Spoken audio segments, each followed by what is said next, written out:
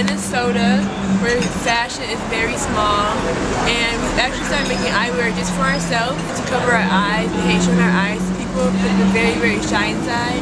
But one day, like we've always been to fashion, we've always been to designing. We decided to go to New York just to visit and our visit turned out to uh, go back to Minnesota, sell our car, quit our jobs and move right to New York to follow our dreams. It's called Wearable Art it's very, very inspired by art. It's black light. We actually have some neons. We have some pieces on now. The bracelets and this necklace as well. It's wearable art just because we're artists. We're not we're not just designers. We don't get inspired by designers. We get more inspired by art. We want to bring the art back into fashion.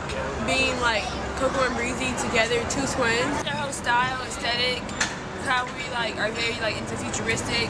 Our um, I would say inspiration comes from our lifestyle, the marketing, the PR, Coco Breezy. We, with our glasses and accessories, they're definitely stepping out the box, and we want to just show, um, we want to show like other like people that are young that you can express the way you feel and the way you think by fashion and how you can take you can like step out the box because you need the stuff that we wear in our sessions. you need the confidence to wear it we get inspired by showing that um, with our glasses on or with our accessory, you can have more confidence.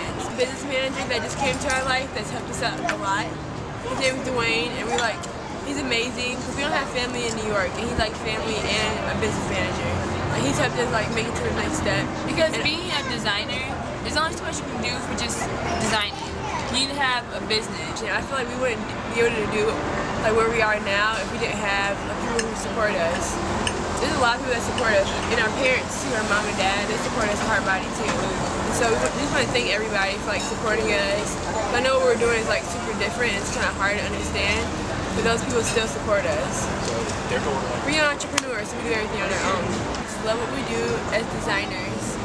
So we're just taking it to the next step to keep consistent and be a household name later in the future.